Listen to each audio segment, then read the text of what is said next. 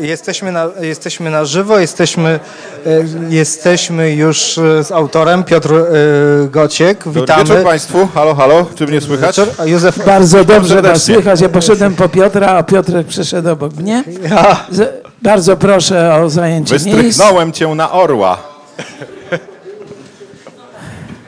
Kabaretu z tego nie będzie, alkanarzy nie jesteśmy pewni. Proszę o zajęcie miejsc i proszę o to, żeby dać autorowi opowiedzieć, jak on widzi to alfabet dla początkujących trzeciej RP. Początkujących takich, którzy jeszcze nie umieją. Czy można prosić o ciszę? O. To trzeba zamknąć okno, to się da zrobić.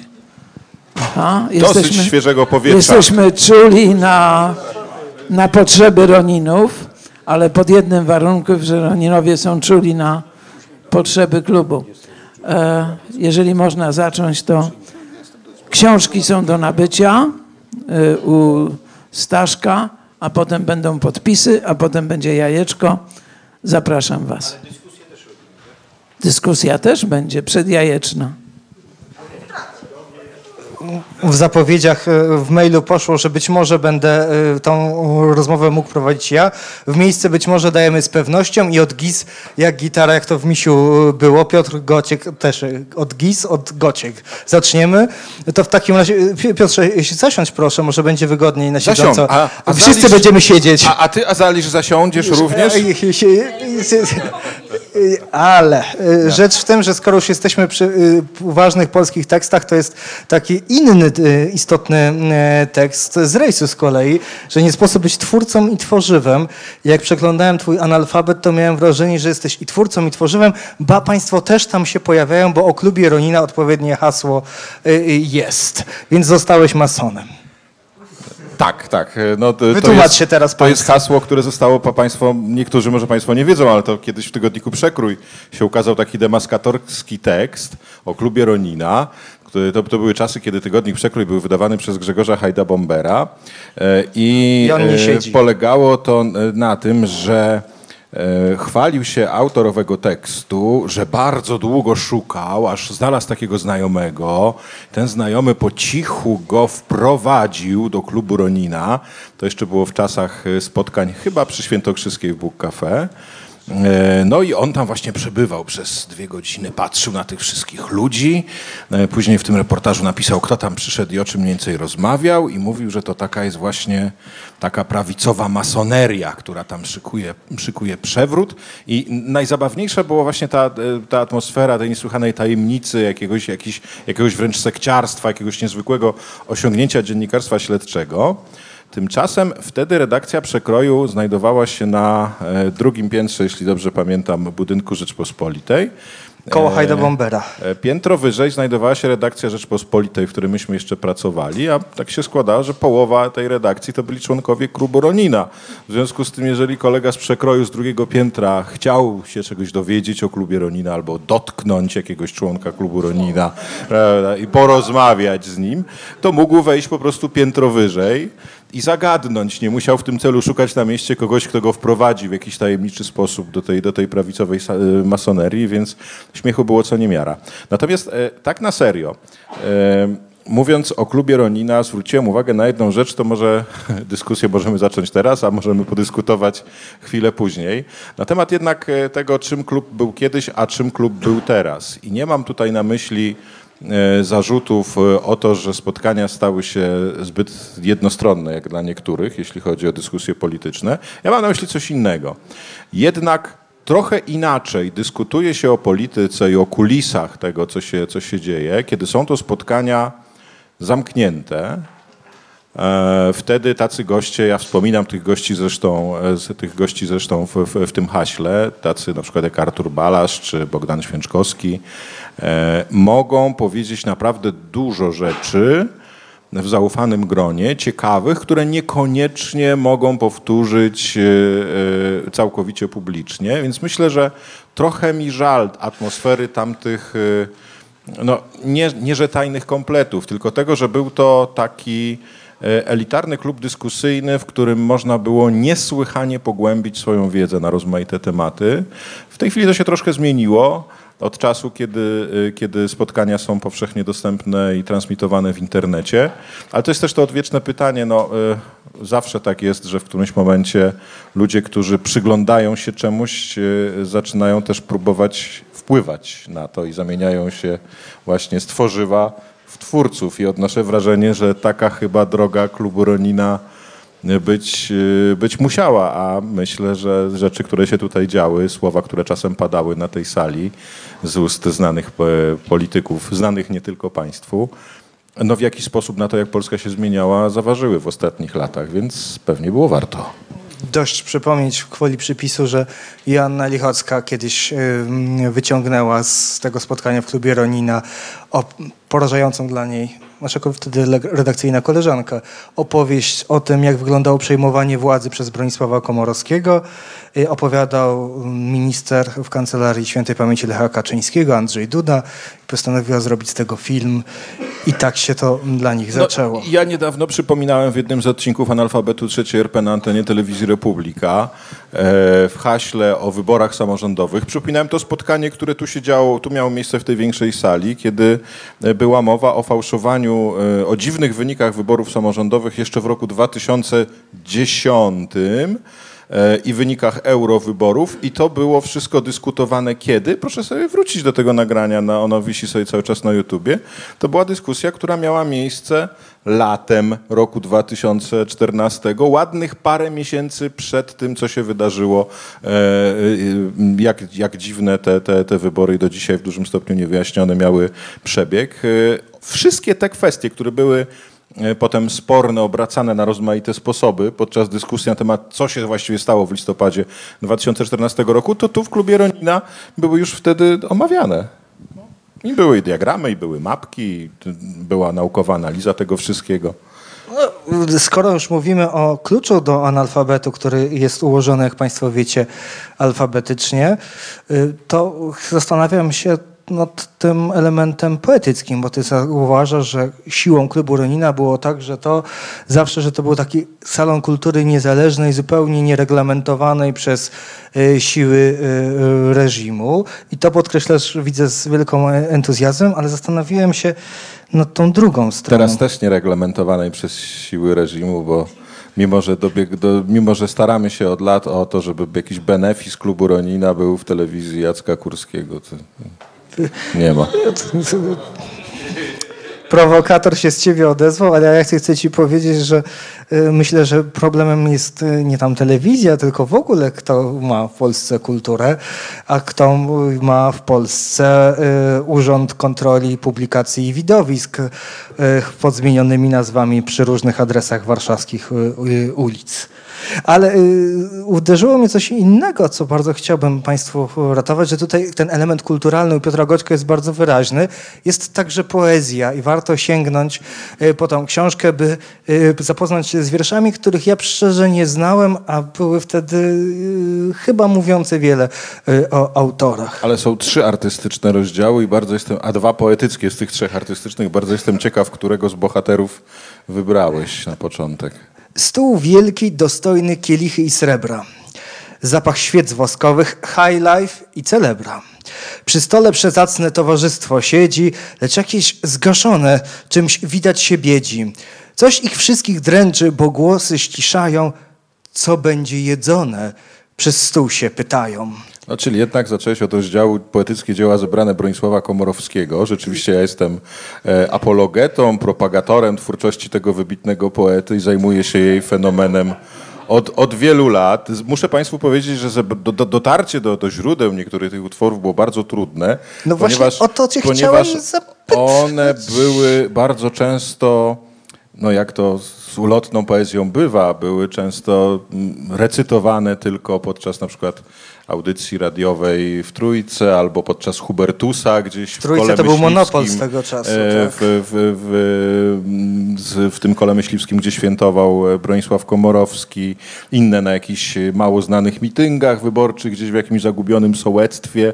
I e, to była benedyktyńska robota, ponieważ nigdzie w opisie tych filmików, które gdzieś można w internecie znaleźć, to nie ma informacji o tym, że tutaj Bronisław Komorowski wygłosił coś, tylko jest informacja tam, że tam mieszkańcy gminy jakiejś tam spotykali się z kandydatem na prezydenta albo z prezydentem.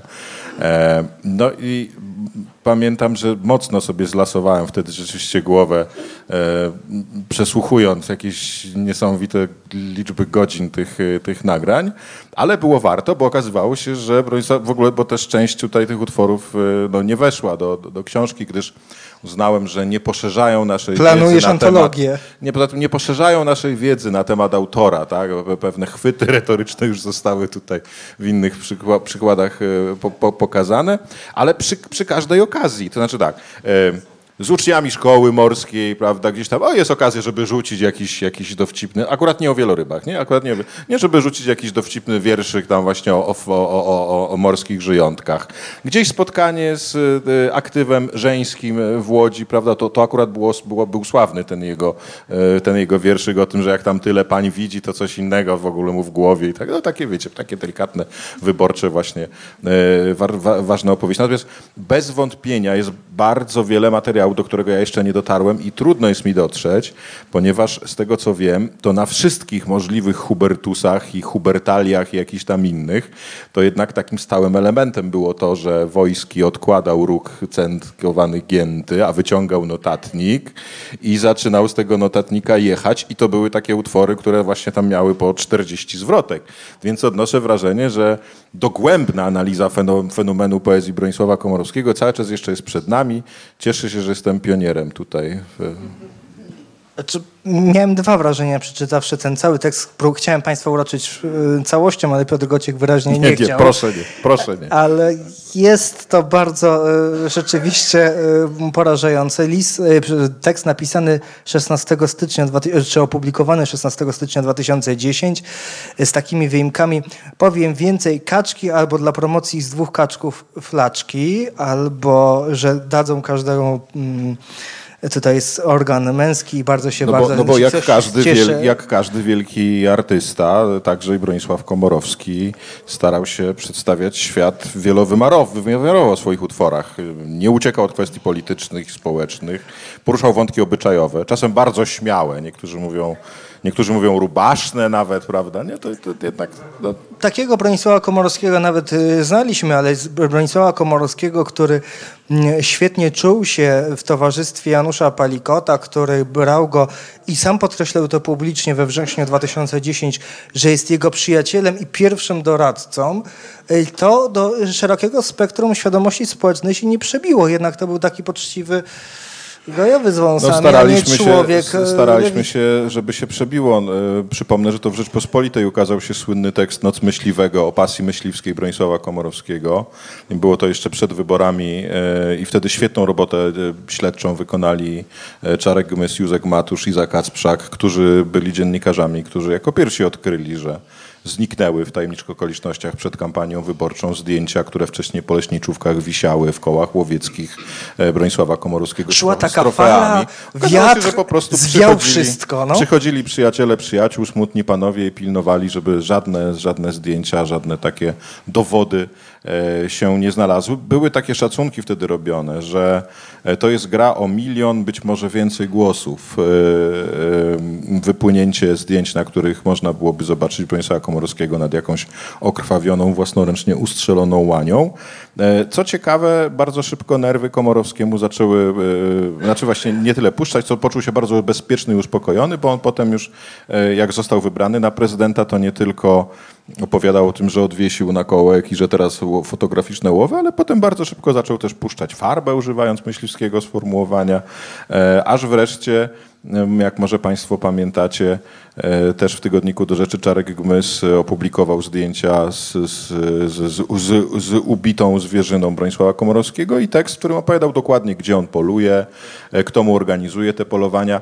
Też bardzo ciekawa wtedy miała miejsce e, polemika z ośrodkiem prezydenckim. Moje ulubione sprostowanie, mój ulubiony typ sprostowania, bo na drugi dzień włączyłem sobie rano portale i na jednych chyba na dwóch czołowych był na jedynce tytuł e, Kancelaria Prezydenta e, prostuje kłamstwa Gmyza, czy coś takiego. No i pomyślałem że kurczę, jakie to kontrargumenty znaleźli, gdzie nas tam przygwoździli. E, jak się wchodziło do tekstu, to pani, której nazwiska już nie pomnę, pani Joanna chyba dwojga nazwisk, jeśli chyba tak rzeczniczka prezydenta Komorowskiego, nieważne. W historii się ta pani na pewno nie zapisała. Podobnie jak prezydent. E, i, e, i ona mu, i, i tam jest komunikat e, pani rzecznik, który brzmi mniej więcej tak. Kancelaria prezydenta nie będzie komentować doniesień Cezarego Gmyza. No oczywiście jest to, jest to miażdżące dementi. Przypomnę Państwu, że to jest dementi bardzo podobne do e, tego, jak CDU dementowała kiedyś informacje o tym, jakoby pieniądze były przekazywane z, e, na kampanię wyborczą Kongresu Liberalno-Demokratycznego. Pojawiły się takie, takie zarzuty w książce Pawła Piskorskiego. E, I, Który coś o KLD wiedział. I też była, było bardzo ciekawe dementi, bo w którymś momencie rzeczywiście rzecznik CDU został wprost zapytany o to, co może na ten temat powiedzieć, a on odparł, że dokumenty z tamtego okresu się nie zachowały. Mógł powiedzieć, też, że były i to, blokowane. I to, I to też było sprzedawane właśnie w, w, mediach jako informacja, że tam rzecznik CDU dementuje, dementuje. No więc takie, takie, właśnie, takie właśnie dementi. Ale powiedzmy też szczerze, że skoro mamy tutaj jednego bohatera poetyckiego, trudu Bronisława Komorowskiego. Mamy też i drugiego bohatera e, poetyckiego trudu, bo zająłem się Jest. także twórczością dobrze Państwu znanego e, wieszcza polskiego, profesora Mariusza Oriona Jędryska. E, który jak wiadomo jest autorem bardzo dobrze znanym w wąskich kręgach, szczególnie, że drukowane przez siebie i pisane zbiory y, utworów poetyckich rozkłada po różnych Ale on ci dementi wysłał. Po to, po to, żeby można było je znaleźć. On mi wysłał dementi do rubryki Dwaj Panowie G, ale tam chodziło o, o literówkę w, w, w, nazwisku. Natomiast jeśli chodzi o sztukę poetycką, to też jestem tutaj pionierem, ponieważ no nie mam wszystkich, ale prawie wszystkie dzieła zebrane Mariusza Oriona Jędryska. E, I muszę powiedzieć, że i jedno i drugie hasło, mili Państwo, to jednak ku przestrodze zostało napisane. Ku przestrodze. No, hasło e, o poezji Mariusza Oriana Jędryska, podobnie jak poezji Bronisława Komorowskiego. E, tak, e, usłyszałem wspaniałą historię od jednego z czytelników Wielkiej Brytanii, który przeczytał właśnie to hasło z, z wierszami pana profesora i mówi tak, wie pan co, Kiedyś to było tak, przyjechał, a to jeszcze było za zarządów Platformy Obywatelskiej, przyjechał profesor Mariusz do nas na spotkanie do Londynu. Przez godzinę opowiadał o geopolityce, gazie łupkowym, tam bezpieczeństwie energetycznym. Było to coś niesamowitego. Wszyscy byliśmy bardzo szczęśliwi, że po naszej stronie są tak wykształceni ludzie, którzy tak znakomicie potrafią sprzedawać swój punkt widzenia. Wszystko rozumieją, wszystko potrafią wytłumaczyć. Są bardzo wpływowi, bardzo inteligentni Idę. A mówię, a po, po godzinie pan profesor wyjął swój tomik i zaczął czytać te wierszyki. I w tym momencie sprawa się rypła. E, I ci sami, którzy jeszcze 15 minut wcześniej byli gotowi go tam nieść w górę i wołać do parlamentu brytyjskiego, Jędryska, zaczęli gdzieś zastanawiać się właśnie, jakby tu po angielsku, to było łatwo, bo w Londynie można opuścić Opowiedziesz, salę. Opowiadasz, opowiadasz to po to, żebyśmy skończyli odpowiednio wcześnie i nie szli do, do tej drugiej części. Czy obawiasz się, że policja energetyczna przyjdzie tutaj natychmiast? Nie? Ja się obawiam, że policja przyjdzie, bo to takie antyrządowe hasła straż, strażnicy na Szyszki, ministrów. Strażnicy ministra, byłego ministra Szyszko, tak, na żądanie głównego geologa kraju pojawią się natychmiast w naszej nie, sali. Nie, nie, nie, nie rzucaj takich rzeczy na wiatr, bo jeszcze się uderzą, ale tak zupełnie serio to E, e, mówię, że czytam i boję się o ciebie. E, byłeś moim szefem w Rzeczpospolitej w dziale krajowym, potem w Radio, w Radio Wnet.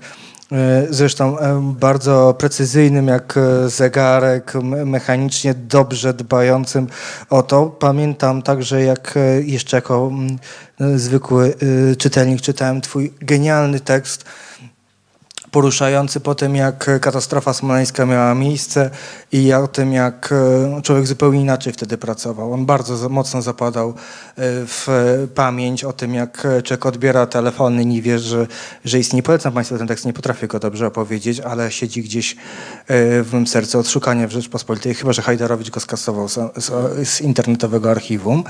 Ale mm, przez tyle lat pracując wspólnie, dopiero czekam na analfabet, znając się jakoś lubiąc, kiedy się okazuje, że ty jesteś twórcą i tworzyłem w innym tego znaczeniu, że tutaj się mocno odsłaniasz w tej książce, że wiele tego e, osobistego Goćka jest, ale hasła Gociek mi zabrakło. Czy aż teraz dołożyłeś do pieca? No, słuchaj, no.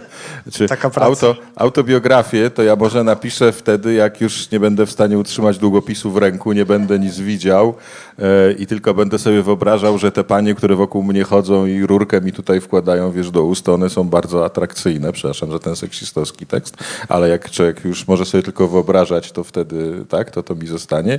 I ja wtedy może ewentualnie, wiesz, takim, taką maszynką jak Stephen Hawking albo Wieniczka Jerofiejew pod koniec życia będę wtedy ewentualnie coś mógł, mógł, mógł podyktować. E, ja nie sądzę, żebym miał jakieś specjalnie wyjątkowo ciekawe y, i pełne dziwnych przygód życie. Natomiast było to, y, przepraszam, było, jest to życie, w którym nieustannie spotykam ciekawych ludzi. Albo jestem świadkiem rozmaitych ciekawych wydarzeń i to jest super, super fajne. Ja tutaj, ja jako ja jestem mniej ważny o wiele od tego, co ja jako obserwator czy analityk mogę, mogę podejrzeć. Kiedyś sobie na przykład uświadomiłem, że zupełnie przez przypadek w telewizji Republika byłem tym, który zawsze wszystko robił jako pierwszy, tak? Pierwszy prowadziłem pierwszy program. Jak wchodziliśmy na satelitę, to ja pierwszy byłem. Jak zrobiliśmy pierwsze studio na żywo 10 kwietnia, to ja jako pierwszy prowadziłem. Prąd nam wyłączyli. E, I tak dalej, i tak dalej. Dlaczego? E, no, dlatego, że jak jeszcze żeśmy kiedyś rozmawiali z Bronkiem Wilsteinem i on kaptował ekipę do, do telewizji, e, no to się mnie zapytał, czy, czy bym chciał najpierw. No to powiedziałem, że bym chciał, ale pod warunkiem, że będę pracował na rano, bo ja bardzo lubię pracować na rano i w ogóle w życiu zwykle prowadziłem w radiu poranki.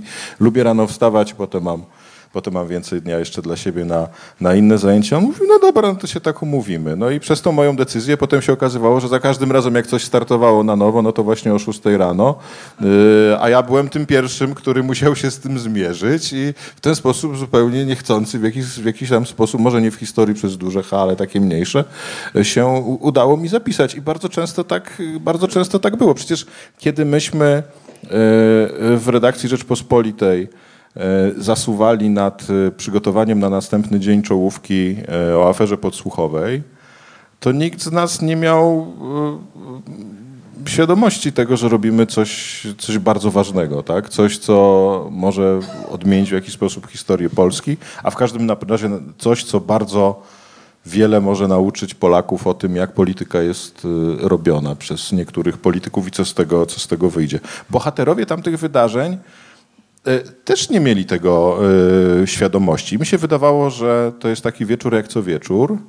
E, pamiętam wtedy na przykład taką zabawną sytuację. Chyba Jarek Stróżyk, dziennikarz wtedy działu krajowego, zadzwonił po komentarz do Zbigniewa Chlebowskiego. I to jest chyba jedyny wywiad, krótki zresztą, jakiego Chlebowski udzielił na temat afery taśmowej, który był jeszcze szczery. To znaczy on po prostu odpowiadał mniej więcej tak, jak pamięta, E, nie unikał odpowiedzi. Wszystko, co było potem, każde następne o, wystąpienie przepraszam, pocił się jeszcze radiowe, zupełnie szczerze. Nie, ale to, to, to mówimy już o troszeczkę in, innym rodzaju stresu. To później to już wszystko było wygładzone przez PR-owców Platformy, już mu tam doradcy powiedzieli, co ma mówić, kiedy mówić, że nie pamięta i tak dalej, i tak dalej. Wtedy wieczorem, jak, jak Jarek do niego zadzwonił, to on po prostu był tą informacją zaskoczony i w, w tej sytuacji e, szczerze odpowiadał. Bardzo podobna sytuacja przydarzyła się później. Też to są takie, takie flesze, takie błyski, które gdzieś potem znikają, e, ale warto o, nich, e, warto o nich pamiętać. Takich błysków jest wiele, niektóre przemieniają się w ogniska, niektóre zostają tylko takim błyśnięciem iskierki. E, pamiętam, jak kiedyś przyszedł też w dziale krajowym Karol Manys, z kolei później rzecznik w Ministerstwie Cyfryzacji Anny Stryżyńskiej, który do mnie mówi tak, a to była akurat sprawa, jak wtedy wybuchła kwestia, że Czempiński się pochwalił tym, jak to zakładali Platformę Obywatelską. E, I e, Karol, jak to dziennikarz, miał bardzo naturalny odruch, to znaczy jak o tym gdzieś usłyszał w telewizji, czy przeczytał w, w, w internecie, nie pamiętam, no to zadzwonił do, do Czempińskiego, nie pytając nikogo o to, czy może albo czy powinien, e, ponieważ parę razy wcześniej z nim tam rozmawiał, no i parę, paręnaście minut z nim konferował. No i przychodzi do mnie za chwilę i mówi, ty słuchaj, no Czempiński wszystko potwierdza, jeszcze mi tam mówił to, jeszcze mi tam mówił tamto. Ja mówię, słuchaj, no to zaraz to robimy tu miejsce w gazecie, akurat już było tam parę minut po chyba popołudniowym planowaniu, to wracaj do telefonu, nagrywaj go i po prostu zaraz wywalamy z tego jakąś, jakąś dużą historię. No już Czempiński nie odebrał od niego telefonu. Ani tego dnia, ani, ani trzy dni później, ani dwa tygodnie później, prawda? Więc no, zdarzają się gdzieś czasem jakieś takie błędy w Matrixie, prawda? I niektóre się udaje wykorzystać, niektórych się wykorzystać e, nie udaje, ale to też dużo zależy od, od dobrej woli e, drugiej strony. Ja byłem bardzo zawiedziony, jeśli, jeżeli mówimy o takich, takich rzeczach, kiedy nie tylko chodzi o zwykły błąd w Matrixie, ale też o to, że ludzie mają okazję, żeby się zachować porządnie, a tego nie robią. Pamiętam, jak y, była taka rzeka pomyj wylewana na lotników z 36 Pułku. Nawet w jakimś tekście chyba na blogu wzywałem. Mówiłem, panowie, zwracałem się do nich, do ich kolegów z innych jednostek. E, Możecie to zrobić na ofie, możecie to zrobić nie pod, nie pod swoim nazwiskiem, ale powinniście coś powiedzieć, bo jeżeli milczycie, to e, wstawiacie w, w jak najgorszym świetle siebie i jednocześnie nie przeciwstawiacie się tym, którzy w jak najgorszym świetle przeciwstawiają waszych kolegów. A ja przypomnę, że latało wtedy też w powietrzu bardzo dużo innych ciekawych historii. Tutaj to jest oczywiście temat na zupełnie inną opowieść. E, jak wygląda w Polsce dziennikarstwo śledcze, ile to afer udało się wyciągnąć, a których się nie udało, bo nie było komu sprawdzić, albo się komuś nie chciało, albo się ktoś bał. Informacje o tym, ja nigdy nie słyszałem oficjalnego dementi Radosława Sikorskiego, jak to Radosław Sikorski wykorzystywał samoloty wojskowe jako swoją prywatną taksówkę, jako minister spraw zagranicznych, ponieważ żył sobie w tym, żyje w dworku w Chobielinie. E, I to było tak, że nie chciało mu się jechać do Bydgoszczy i potem do Warszawy, a potem z tej Warszawy lecieć na spotkanie gdzieś do Brukseli. W związku z tym miał, mówię, bo nikt tego nie zweryfikował. Tekstu śledczego na ten temat nie czytałem. Mówię o informacjach, które do mnie dotarły i podkreślam, że są one niezweryfikowane. Więc mówiło się, czy krążyła informacja, że miał kolega Sikorski Radosław wzywać sobie taki wojskowy samolot, który przylatywał z Warszawy do Bydgoszczy, lądował tam, zabierał go i stamtąd leciał do Brukseli. Mówiło się także o tym, nie wiem na ile są potwierdzone te informacje, że niektóre z tych lotów miały miejsce poza oficjalnymi godzinami funkcjonowania lotniska.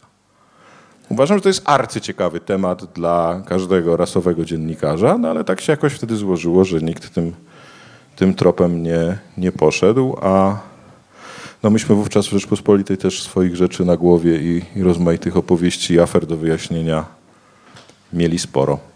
Ale to nie jest super poważna książka. Powiedz, ona jest też trochę śmieszna czasami, mam nadzieję. On tak? Myślisz, że no. nasza rzeczywistość no. jest śmieszna? No, nie, bo i, Państwo i, widzieli... I coraz teraz... bardziej nas otacza. to na pewno, coraz bliżej. Bo Państwo widzieli przez moment ten błysk w oku, gdy Piotr Gociek mówił o błysku, o takich sygnałach. Mm, ja się boję o Piotra, jak y, czytam, co on czyta, jaką poezję y, eksprezydenta, miłościwie nam już nie panującego. I zaczynam się martwić o niego, ale to jest właśnie Goćkowa zdolność do wychwycenia takich rzeczy i pokazania. No bo jeżeli ktoś się tak y, emocjonuje organem męskim, tudzież widokiem dwóch kaczek i, i poważa posła Palikota, to to bardzo wiele o nim mówi. I takich sytuacji, których o III Rzeczpospolitej mówi bardzo wiele, y, Piotr Gociek wyłapuje i ma do tego jakąś niesłychaną predylekcję do pamiętania takich szczegółów i do tego ukazywania w tych krótkich y, y, notkach. Dawało mi się dziwne, że brakuje tam właśnie brakowania takie pojęcie, które dość mocno ufundowało trzecią Rzeczpospolitą, czyli brakowania akt e, w Młynie w Konstancinie, które się działo już w trzeciej RP, a nie e, dopiero później. Powiedz mi proszę, bo... Ale o innym brakowaniu napisałem. Tak, ale y, czy ten brak oznacza, że będziesz go uzupełniał w kolejnych wydaniach analfabetu? Nie, no, czy... Bo tutaj za analfabetem Państwo tego nie widzą, ale Piotr Gociek przygotował sobie inną Aha, pozycję a to i chce wyciągnąć kretę. A to zna- już jak opowiadał o tych y, mm, pielęgniarkach, to już myślałem, że to na krecie będziesz Nie, zażywał. bo państwo, nawet niektórzy z państwa przegapili fakt, że ja w maju jeszcze ubiegłego roku zdążyłem inną książkę zupełnie niepolityczną napisać. Kreta subiektywnie, taki nosi tytuł. Owoc 15 lat moich wyjazdów na, na Kretę, dlatego tutaj tak sprytnie, sprytnie schowałem sobie, ale jest lepsza od y, innych książek, bo ma zdjęcia w środku. E, W związku z tym, nawet jak komuś nie chce się czytać, to może oglądać. A podpisy są bardzo krótkie, więc też nie denerwują specjalnie tych, którzy nie lubią analfabetów dużo, dużo czytać. Tak, a poza tym zdjęcia Zachwalasz. wszystkie zrobiłem sam, więc honorarium też trafiło do mnie, co będę obcym ludziom dawał pieniądze, jak mogę sam, jak mogę sam zrobić. E, Brakowanie e, jest tutaj poruszone w pewnym momencie, kiedy zastanawiam się nad słynnym zbiorem zastrzeżonym. E, I pojawił się zresztą parę tygodni temu na ten temat tekst w Rzeczypospolitej autorstwa, jeśli dobrze pamiętam, ludzi związanych raczej z przeciwną stroną polityczną. No, to już raczej. Natomiast, natomiast wezwanie jak najbardziej słuszne, to znaczy wezwanie do tego, żeby ktoś zaczął wyjaśniać, co tak właściwie się działo ze zbiorem zastrzeżonym przez ostatnie lata, przez ostatnich kilkanaście lat, bo działo się coś dziwnego. E, Wypływają z niego ciekawe, e, ciekawe dane, które poszerzają naszą wiedzę na temat agentury SB w Watykanie, pracy ambasady w Paryżu. E, no, rzeczy owszem ciekawych, ale niespecjalnie przełomowych. Natomiast w ciągu ostatnich nastu lat, Orson jednak był przełomowy. Orson był, czyli ale ja mówię Tomasz tutaj, Turowski. e, no tak, ale to zostało wyciągnięte Wcześniej. przez Czarka, zanim, za, za, zanim zaczęliśmy czytać już Zetkę na mocy zmienionej ustawy. E, natomiast bardzo wielu polityków III RP wcześniej opowiadało o rozmaitych dokumentach e, i mówiło, że one są w Zetce i że więcej się dowiemy, jak zostaną, jak, jak zostaną e, odtajnione.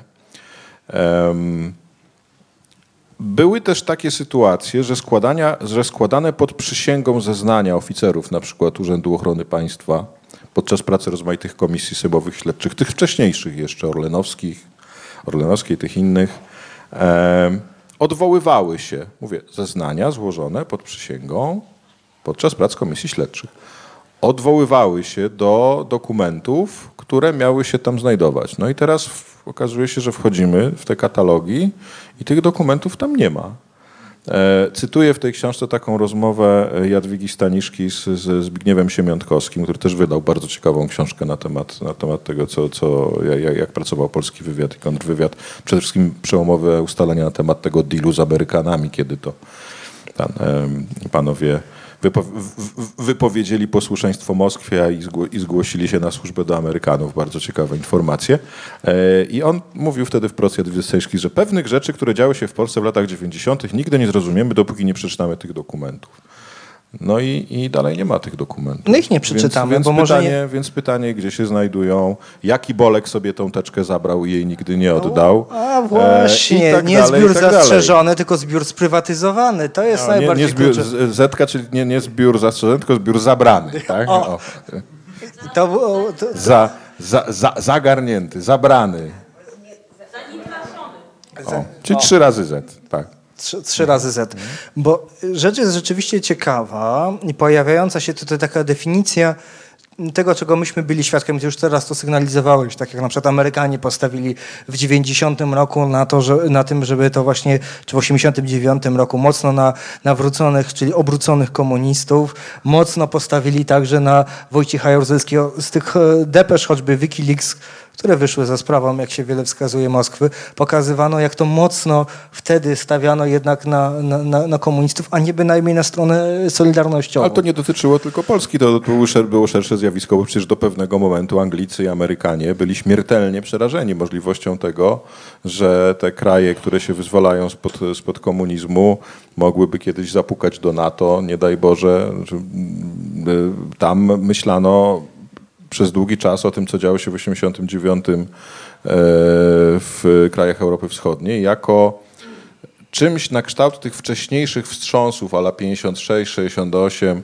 e, tylko na trochę większą skalę. Na zasadzie, że fala teraz płynie w tą stronę, ale ona zostanie w jakiś sposób cofnięta i nie ma co się angażować w jakieś, w jakieś dalej, dalej idące. To wcale nie było takie oczywiste. To teraz z, z, z naszego punktu widzenia, z perspektywy lat, oczywiście możemy mówić, że pewne procesy musiały pójść tak i tak, ale wcale nie, Nie musiały. musiały. Wcale nie musiały. Przypomnę Państwu, że w tych dokumentach, które Antoni Dudek zgromadził, takie były, jest taki wybór e, dwutomowy dokumentów e, z lat 80., e, między innymi z resortu Kiszczaka, e, tych dokumentów już po stanie wojennym przygotowywanych.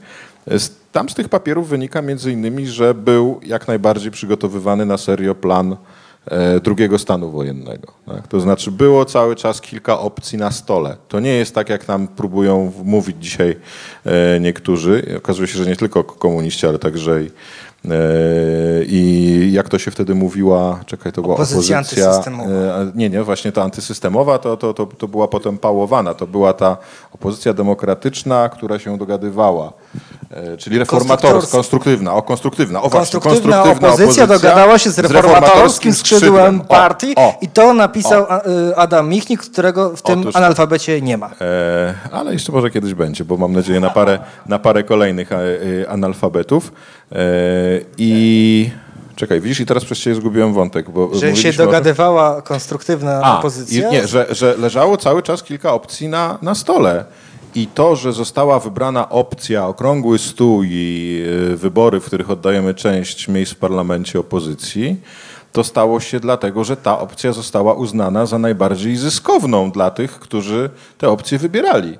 Nie mamy chyba żadnej wątpliwości, że gdyby Jaruzelski z Kiszczakiem uznali, że najbardziej zyskowna dla nich jest opcja drugiego stanu wojennego, to by wprowadzili drugi stan wojenny. Gdyby uznali, że najbardziej zyskowna dla nich, ich towarzyszy jest opcja przemalowania księżyca na zielono, to tylko gdyby mieli taką możliwość, to pewnie by się właśnie o to starali. Więc y, to dzisiaj nam się wydaje, że coś poszło tak, a nie inaczej, bo musiało tak, tak pójść, bo taka była logika dziejów. Nie, nie. W dużej mierze y, przypomnijmy sobie, co Jaruzelski mówił w tym w samej y, ujawnionej przez notatce przez Antoniego Dudka y, przed wprowadzeniem stanu wojennego podczas ostatniej odprawy. Zanotował to y, Anuszkin, y, czyli y, adiutant Nie, a tutaj ad, ad vocem, bo pada z sali, tu decydowała Moskwa. No tak, ale kiedy ja mówię, że leżały na stole rozmaite opcje, to przecież wiemy o tym, że Jaruzelski i Kiszczak nie działali w próżni. Kiedy mówimy o metodzie demontażu komunizmu. Gdyby, e, na, gdyby stwierdzono, że najbardziej opłacalną metodą tego demontażu jest metoda inna, to by ją wybrano. Gdyby uznano, że bardziej opłacalne będzie jeszcze ugranie paru lat po to, żeby e, podbić stawkę, to pewnie, to pewnie by się to, to stało. Proszę popatrzeć, jak sprytnie w tą grę e, gra przywódca Korei Północnej, który teoretycznie nie ma żadnych kart, a jednak cały czas licytuje. Bo jego licytacja jest bardzo prosta. Albo nam dacie jeszcze trochę, e, albo was wszystkich poślemy do piachu. Oczywiście wszystkich do piachu nie poślemy, ale, Ale trochę. ale rabanu trochę możemy, trochę, możemy, trochę możemy zrobić. Ta Moskwa, o której mówił Bernard, to przecież a, Anuszkin mówi, Jaruzelski prosił przecież o wsparcie w 1981 roku. Bez waszej pomocy nie damy sobie rady.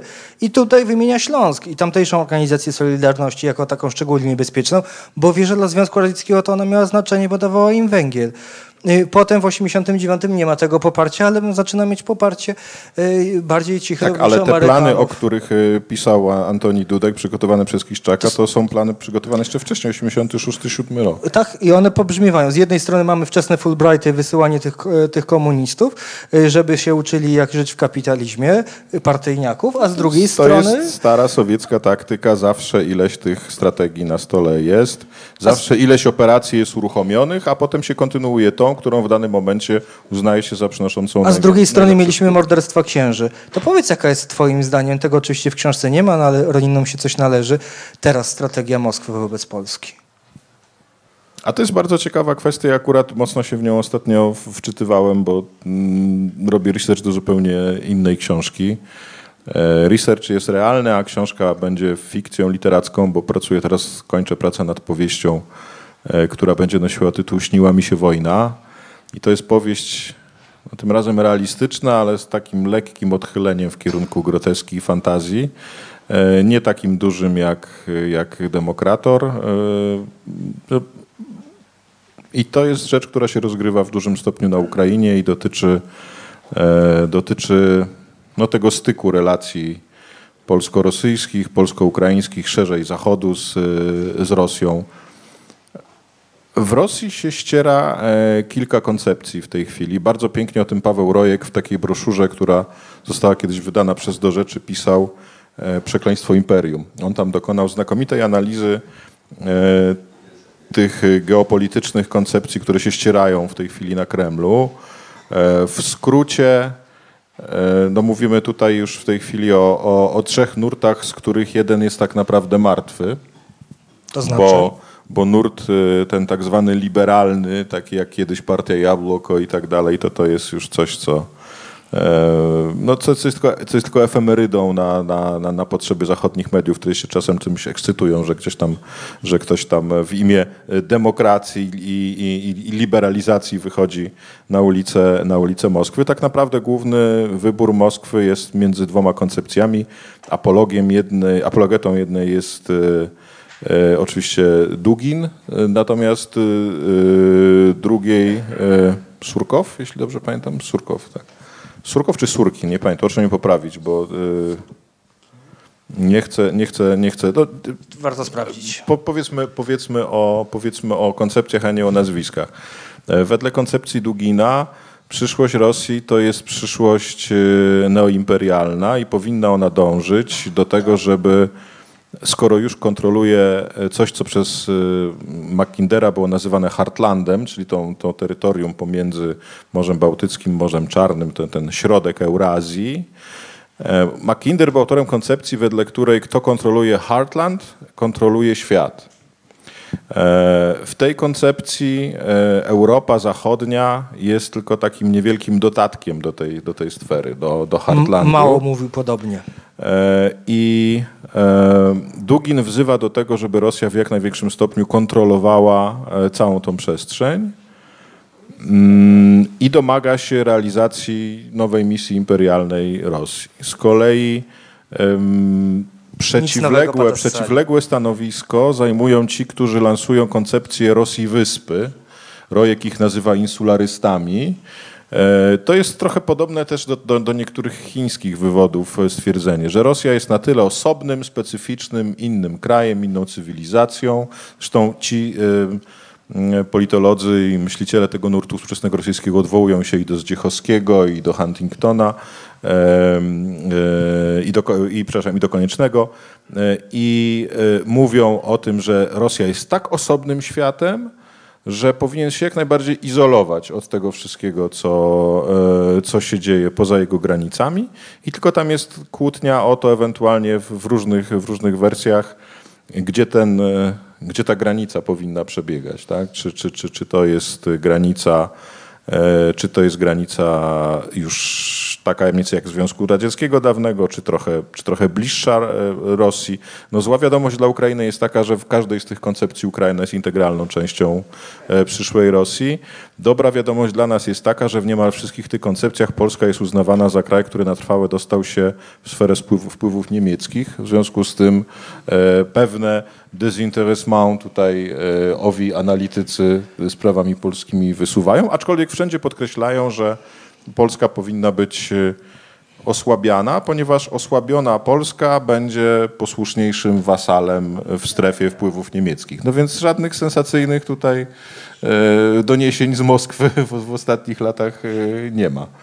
Pytanie jest oczywiście, e, jak, jak w tym wszystkim będzie dalej zachowywał się Putin. Na razie realizuje obie. Mm, no, Zamyka Rosję na razie, na razie próbuje, tak, tak, próbuje grać rzeczywiście na dwóch, na dwóch fortepianach, ale też nie rozszerza go jakoś bardzo mocno, bo jednak kiedy były te wezwania głośne, to kiedy tłumy skandowały Putin wprowadź wojsko, tak, w, jeśli chodziło o, o kwestię ukraińską, to jednak tego, jednak tego nie uczynił. Ale też zobaczymy, co zdarzy się po e, Mistrzostwach Świata e, w piłce nożnej, bo jednak do tego momentu chyba tu jeszcze Putin będzie udawał, że nosi rękawiczki, a co będzie potem, to bardzo sam jestem ciekawy.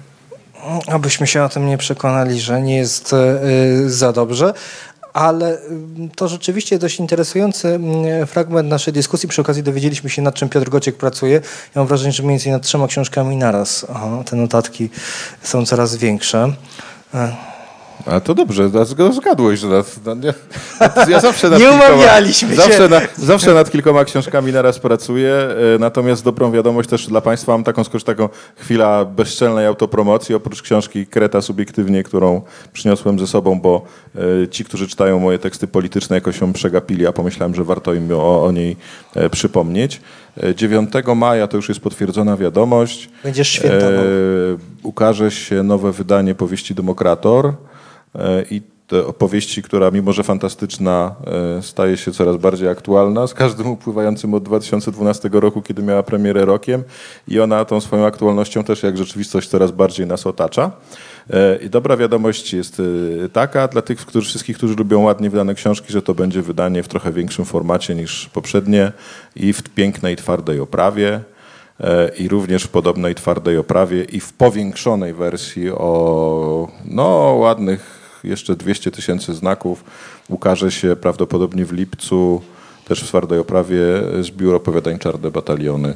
Więc y, cieszę się, że te książki mają, mają dru, drugie życie, bo w czasach, kiedy książka dwa tygodnie żyje w księgarni i znika i ludzie się przestają interesować, dobrze jest wiedzieć, że, e, że ludzie wracają do tych tekstów i chcą je po prostu dalej czytać. A ja, jak, jak mówię, pracuję w tej chwili nad tą powieścią Śniła mi się wojna, a potem będzie znowu coś publicystycznego. Ale zawtra wojny nie będzie. Ja nie znaję. No bo trzeba Państwu wiedzieć, że Gociek rzeczywiście książki lubi. Książki lubi nie tylko pisać, ale także je kolekcjonuje namiętnie. Mniej więcej w redakcji Tygodnika do Rzeczy to jest taki, taki biurko, stos książek, które przychodzą. Część to jest oczywiście, co wysyłają różne wydawnictwa, a część to jest takie E, e, białe kruki sprzed lat, które Gocie gdzieś tam sobie wynajduje i znajduje, jak to różni autorzy, na przykład, którzy dziś uchodzą za klasycznych liberałów, chwalili towarzysza Stalina, który prawda, nad którym... Tak, chciałem na przykład Państwu polecić stare publikacje grupy Windsor, gdzie można znaleźć e, e, teksty Ludwika Dorna mówiące o tym, jak się trzeba rozprawić z wymiarem sprawiedliwości, z tymi bandytami, sędziami i w ogóle z tym mitem demokratycznego państwa prawa. To, e, więc tak, tak, tak. Oni dzisiaj uchodzą za liberałów, a kiedyś wspierali twardą linię kaczora dyktatora. Powiedzmy sobie szczerze, tak, tak, tak właśnie było. Też ostatnio sobie przypominałem, bo tak lubię czasem sięgnąć po rzeczy nieoczywiste. Polecam Państwu taką broszurę. Autor Roman Giertych nosił, nosiło to tytuł Lot Orła rok wydania 2000 albo 2001, jeśli dobrze pomnę. Też o klubie Ronina? Nie, nie ma tam nic o klubie Ronina, ale jest bardzo dużo o tym, jak Niemcy przy pomocy swoich obrzydliwych produktów, supermarketów i innych zamieniły Polskę w służalczy fol, folwark, wycieraczkę w ogóle Unii Europejskiej. To z tą wycieraczką to może tam przesadziłem, ale że folwark właśnie i że taki tamten. To bardzo dużo ciekawych koncepcji geopolitycznych Romana Giertycha w tej, w tej broszurce można znaleźć. E, dziwnym trafem nikt e, o te, o te sprawy jak do Moniki Olejnik przychodzi, nie zadaje mu pytań, nie wiem zupełnie dlaczego. A tyle okazji jest tej, u tej Moniki no tak Olejnik. co tydzień, nie? Właściwie co można tydzień, było... może częściej. Takie, taka akcja, co tydzień Roman Giertych opowiada o błędach i wypaczeniach młodości. To byłaby fascynująca, fascynująca audycja. A, o, nie ma też pojęcia Michnik, co ci już wytknąłem. Ale co, to bardzo, też byłoby ciekawe. Ale y, był to też y, powiedzmy młody, ambitny y, narodowiec z daleko posuniętym instynktem samozachowawczym, ponieważ w całej tej książce, mimo że jest tam e, kilka rozdziałów o sytuacji międzynarodowej i tam tłumaczy, co z Rosją, co z Chinami, co z Unią Europejską, okupantem i tak dalej, i tak dalej. E, o jednym kraju tylko nie ma tam ani jednego słowa. O Izraelu. Brawo. Brawo. Myślałem, że o Niemcach, że sami naziści, no. Ale y, Gociek potrafi mieć zdolność łatwego definiowania y, rzeczy, która jest rzeczywiście w punkt. No proszę posłuchać sobie Państwo e, tak. W PRL mówiono na nich opozycja antyustrojowa, czyli taka, która chce obalić ustrój. Ustroju zdaniem władz nie należało obalać, gdyż był najlepszy pod słońcem. Można go było jedynie reformować. Mieliśmy więc kolejne etapy reformy, po których się okazywało, że jeszcze jest gorzej niż było. Winą za to obarczono oczywiście opozycję antyustrojową. Największą reformą okazała się transformacja ustrojowa. I teraz uwaga. polegała na tym, że ci, którzy popsuli, najpierw podzielili się odpowiedzialnością z tymi, którzy protestowali przeciwko psuciu. A potem wmówili im, że to wszystko ich wina. Koćku, to jest proste.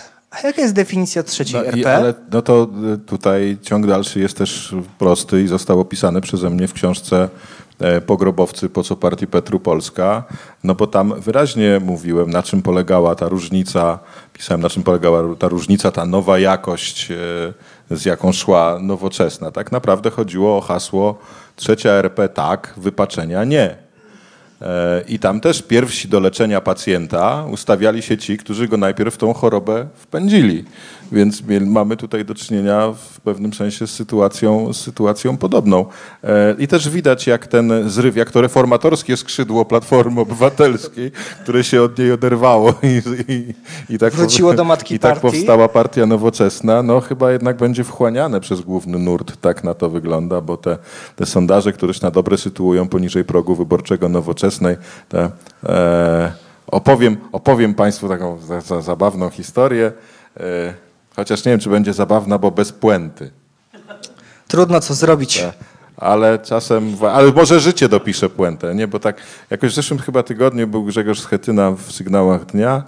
E, no ja tak lubię trochę czasem mniej poważnie przed wejściem na antenę e, pogadać z gośćmi albo ich poprowokować. No i tak wchodzę, witam się, mówię, dzień dobry panie przewodniczący.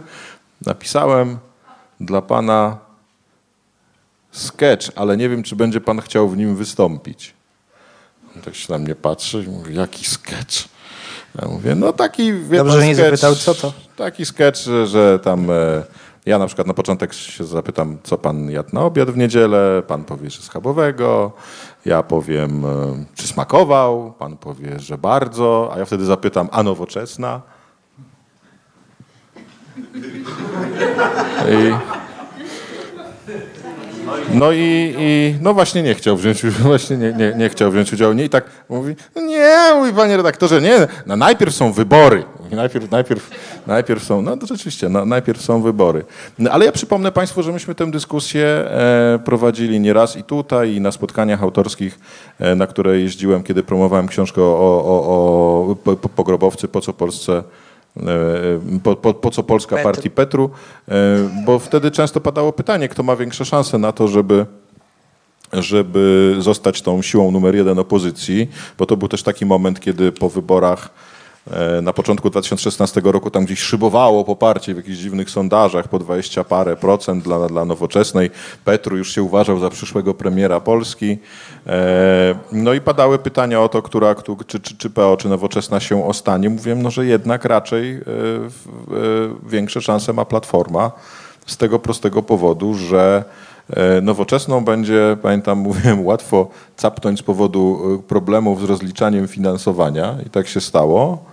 E, A Platforma jest jednak partią od lat bardzo potężnie wrośniętą w strukturę polskiego państwa, a przede wszystkim bardziej też w strukturę samorządu E, i ma lokalne e, struktury też bardzo silne, ma pieniądze.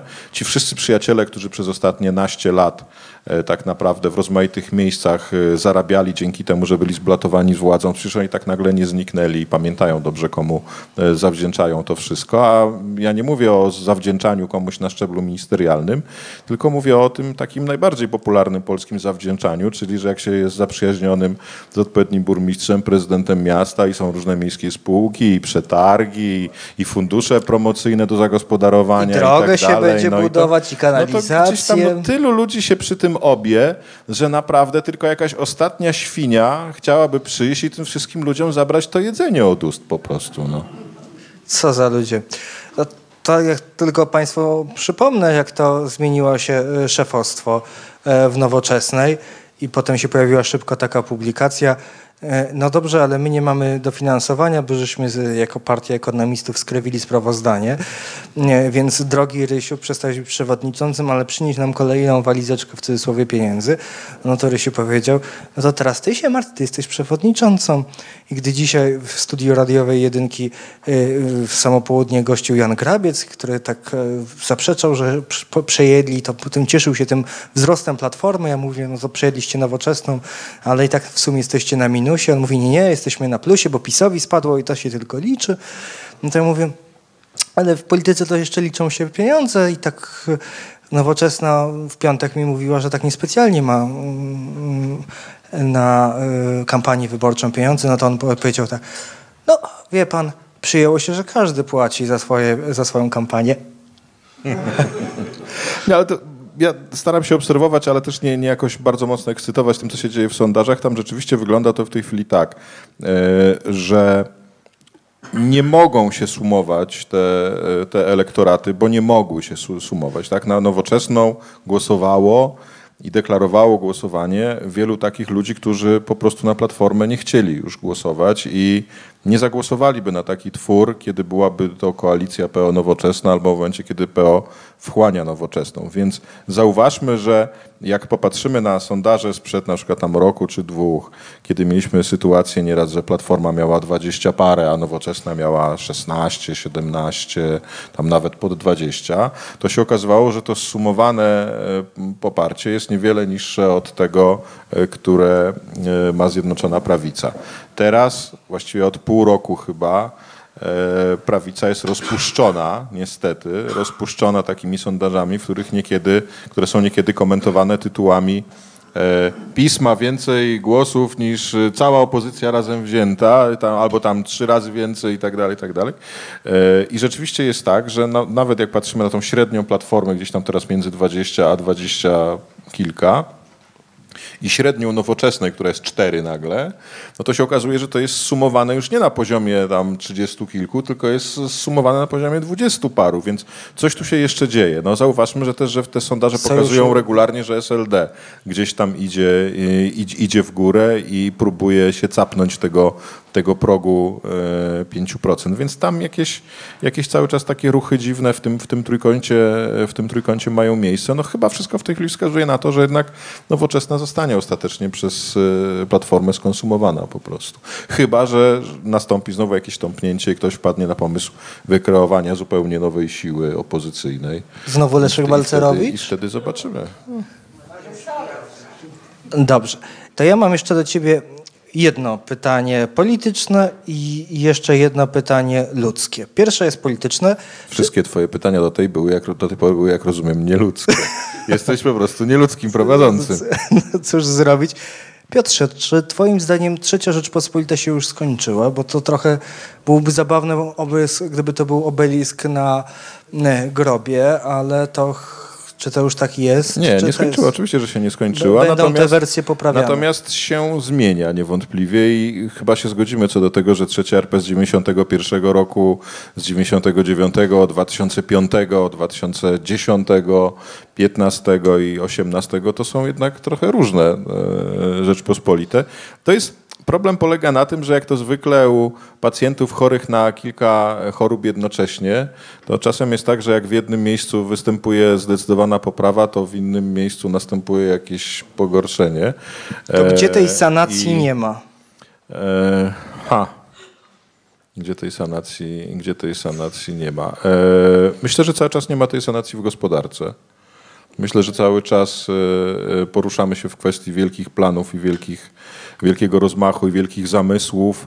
E, a jak zapytamy ludzi, którzy prowadzą te małe sklepiki, tą działalność gospodarczą, czy nawet średnie firmy, to widać, że niezależnie od tego, ile programów elektromobilności byśmy wymyślili, tam te problemy zostają takie same. No, to jest kwestia ZUS-u, to jest kwestia tego, jak się zachowuje administracja skarbowa i w ogóle wszelka administracja wobec nich. Chociaż też słyszę mm, w różnych miejscach opowieści o tym, że jest lepiej, ale w innych miejscach dla odmiany słyszę cały czas przy jakieś przerażające historie, jak, e, jak jeżdżę po kraju. E, I proszę zwrócić uwagę, że te same bolączki, które były wytykane przez komentatorów, ekonomistów 15, 5, 10 lat temu, to one bardzo często e, pozostają. Na przykład kłopot z inwestycjami. Ja nie mówię w tej chwili o e, teraz o tym sporze, na ile wzrost Polski powinien być też tylko efektem tych państwowych inwestycji, funduszy unijnych, ale też firmowych. Ale to, jak wielki problem mają polskie firmy z wyjściem z tego e, pułapu bycia drobną tylko firmą. To, jak cały czas, bo mamy dużo w Polsce przedsiębiorstw, które rozwijają się szybko i bardzo dobrze do pewnego dość niskiego poziomu. Potem przestają się rozwijać, bo albo się boją tego rozwoju dalej, albo nie mają kapitału, albo z jakichś innych powodów. E, ja sam znam historię człowieka, który był bardzo bogatym importerem rozmaitych rzeczy z dalekiej zagranicy, między innymi ryb w puszkach. No jego biznes się skończył w ten sposób, że jak tam przez półtora roku go nękali dziwnymi telefonami i sugestiami, że, e, że może by się z kimś podzielił tym biznesem, prawda, i tak dalej, to e, no to stwierdził, że, że nie, nie, że, że, że on dziękuję. E, akurat historia z Trójmiasta, prawda? To ciekawe, dlaczego wszystkie przerażające historie tego typu miały miejsce albo na Dolnym Śląsku, albo w Trójmieście. Właśnie Dolny ciekawe. Śląsk chciałem wymienić. Z czego to wypływa w ogóle? Nie wiem, może tam jakieś może czakramy jakieś tam chyba pewnie są. Nie? Trzeba by, albo może nie ma właśnie odpowiednich czakramów, nie wiem. No, e, takie historie. Ludzie. Kluczowi są ludzie. No system medialny też nie został cały czas rozszczelniony, prawda? To znaczy, e, ja pisałem o tym bardzo obszernie i w, w Do Rzeczy i w Analfabecie też o tym wspominam. E, ale też pisałem o tym szeroko w książce jeszcze o Platformie Obywatelskiej, czyli tej zatytułowanej e, Pozamiatane no, że cały czas, o ile kiedy mówimy o rynku drukowanym, to mamy mniej więcej równowagę, bo jak sobie patrzymy na zasięgi tygodników z lewej i z prawej strony, jak sobie sumujemy zasięg gościa niedzielnego, niedzieli, idziemy do rzeczy w sieci, e, Gazety Polskiej, prawda, i tak dalej, i z warszawskiej, tak, jak sobie sumujemy z drugiej strony zasięgi tam Newsweeka, e, polityki, przeglądu, jakichś tam jeszcze innych inicjatyw i tak dalej, to wychodzi, że jest mniej więcej, mniej więcej równowaga sił, każdy coś dla się znajdzie. Mniej radykalny radykalny, bardziej radykalny e, i, i tak dalej. Natomiast w świecie mediów elektronicznych e, tej równowagi cały czas, cały czas nie ma. E, I to jest tak samo jak cały czas jest wielki problem z tym, jak finansować media publiczne, jak je reformować. Ja przypomnę, E, to PiS zaczął pierwszy mówić o tym, że jakaś będzie opcja zerowa jeszcze przed wyborami 2015 roku. Przecież sam pamiętam gości, którzy przychodzili do studia telewizji Republika i mówili latem 2015 roku, już po wygranej Andrzeja Dudy, a przed jesiennymi wyborami, że będzie jakaś fundacja mediów narodowych, że media publiczne to będzie w ogóle zupełnie coś na nowo wymyślonego, inaczej finansowane, że to będzie nowa instytucja i tak dalej. Po to przecież zapowiadano, że miała powstać Rada Mediów Narodowych. No Rada Mediów Narodowych powstała po to, żeby zarządzać mediami narodowymi, nową spółką, nową, czy też, tam, bo tam nie było wtedy powiedziane, co to ma być. Czy to ma być spółka, czy to ma być fundacja, jakaś instytucja pożytku publicznego i tak dalej, i tak dalej. To, to, nie my, to, to nie my zmuszaliśmy polityków PiSu do mówienia o tym, to oni sami przychodzili z tymi, z tymi pomysłami. No a co stało się potem? Okazało się, że jak zwykle prowizorka była najtrwalsza i e, no, długa historia takich mniejszych i większych kompromitacji, no bo jeżeli się gdzieś powołuje jakiś prezesów, ci prezesi za godzinę e, e, się odwołują, jeżeli się okazuje, że e, polityka personalna polega na tym, że się we, we, wszystkich możliwych miejscach, na wszystkich możliwych stanowiskach w ciągu dwóch lat już tam po, powymieniało po dwóch, trzech szefów i tak dalej. Zdaje się, że karuzela trwa nadal. No to znaczy, że jest jakiś problem, tak? Jest jakiś problem, a ten problem jest oczywiście wieloczęściowy, bo media publiczne są tylko elementem tego, tego kłopotu. Są elementem, ja nie chcę o sprawach personalnych, ale z pewnością, skoro Prodomasuła, największym problemem jest internet.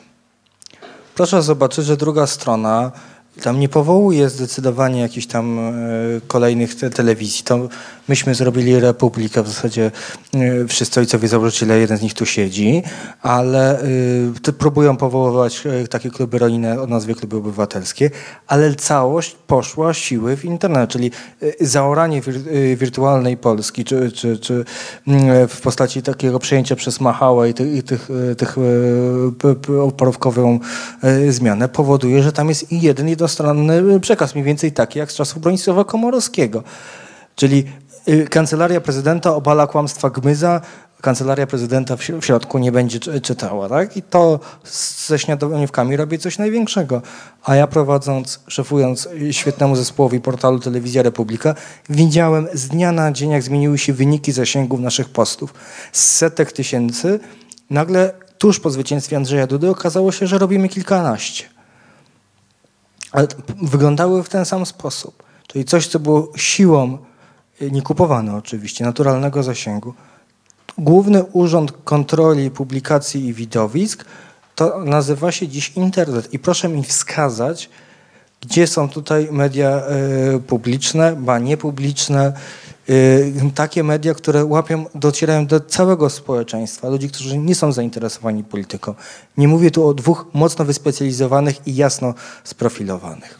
No, tu, ale tu dotykasz jeszcze innej bardzo ważnej sprawy i ja przestrzegam polityków prawicy przed kręceniem bicza na własne plecy ponieważ wyskakiwanie w tej chwili, że my jako pierwsi będziemy tutaj specjalne ustawodawstwa do walki z tak zwanymi fake newsami szykowali, to to jest nic innego jak tylko realizowanie agenty lewicowo-liberalnej, bo to tamtej stronie się właśnie marzy, żeby powprowadzać rozmaite ustawy antyhejterskie, w których będzie napisane na kogo źle nie można powiedzieć i co jest mową nienawiści ze względu na narodowość, płeć, zachowanie, poglądy polityczne, tam pochodzenie itd., itd., itd.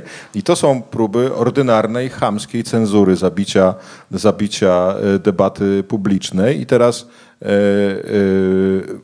najgorszą rzeczą, jaką można zrobić, z tego powodu, że się jest, oczywiście, że się jest nieraz fałszywie, niesprawiedliwie atakowanym, ale wyskakiwanie w tym momencie, że my będziemy teraz tymi E, pionierami walki z, z, z, fake newsami, to jest tylko otwarcie drzwi do tego, żeby ci wszyscy, którzy, którzy o te e, rzeczy, o których przed chwilą powiedziałem wcześniej, walczyli o te rozmaite, a właśnie antyhejterskie, antydyskryminacyjne, anty jakieś tam jeszcze i tak dalej ustawy, żeby nam przyszykowali e, po prostu taki internet i takie media, że absolutnie już nic nie będzie, nie będzie można powiedzieć. Więc walczmy o to, żeby w jak największej liczbie miejsc można było mówić jak najwięcej różnych rzeczy i brać za to oczywiście odpowiedzialność, ale to już niech każdy autor każdego komunikatu tą odpowiedzialność bierze. Do tego są potrzebne porządne sądy, żeby szybko wymierzały e, e, wyroki, żeby pilnowały czy prawo jest przestrzegane, czy nie. Ale ja przypomnę, przecież nawet nie wiem, czy przypadkiem tutaj nie w Roninie, to kiedyś mówiła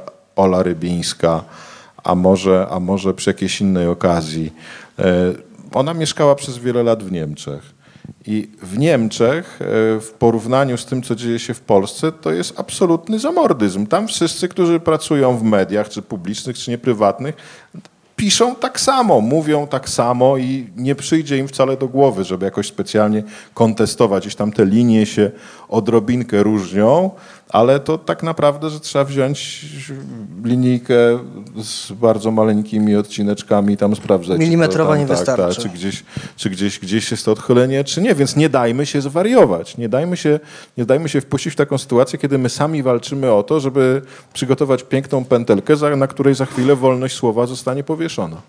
Więc żeby było jasne, ja uważam, że nie cenzurowanie, bo tego doświadczamy w tej chwili, tylko silna pozycja polskich mediów ale ostatnie miało być personalne, a mówisz y, często złośliwie, przekornie, dowcipnie, ale potrafisz też mówić y, z dużą złożonością, rysować portrety postaci. Tak jest o Jacku Kaczmarskim w tej książce.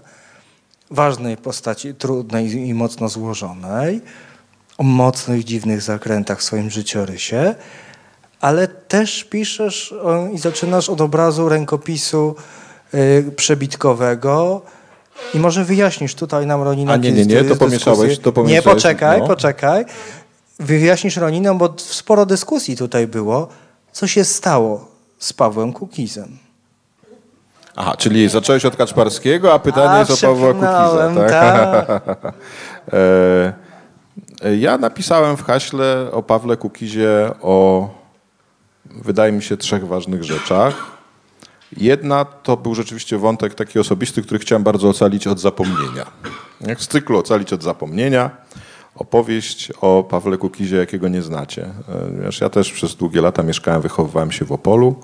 E, tam Paweł też e, śpiewał, grał, mieszkał, próby, dziewczyny, okolice zwiedzane podobne, knajpy podobne i tak dalej. I pisał. E, no i któregoś razu, ponieważ ja tam gdzieś jak, jak, jak, zacząłem być jakoś w miarę rozpoznawany jeszcze w czasach licealnych jako człowiek, który coś pisze i, i, i, czyta, i pisze, i czyta, i pisze, i czasem gdzieś tam próbuje coś publikować, to jeden znajomy do mnie któregoś razu mówi, słuchaj, a wiesz, że ja mam opowiadanie Pawła Kukiza u siebie?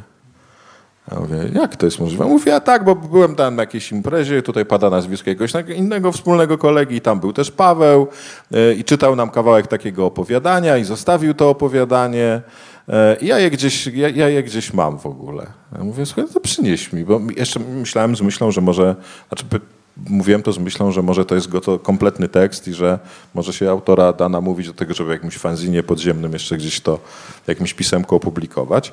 Tekst był nie, nieskończony niestety. Było to opowiadanie, nie pamiętam czy, czy 10 czy paręnaście stron, faktycznie na takiej przebitce. Ci, co pamiętają PRL jeszcze, no to pamiętają, jak to się wkręcało w maszynę kartkę papieru prawdziwego, ale te,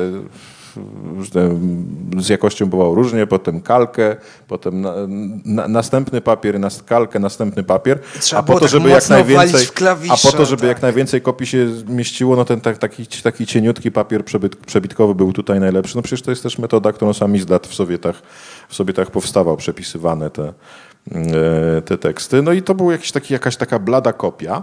I teraz tak, to było bardzo dobre, pamiętam, bardzo dobre opowiadanie taka mała, taki mały realizm z odrobiną satyry.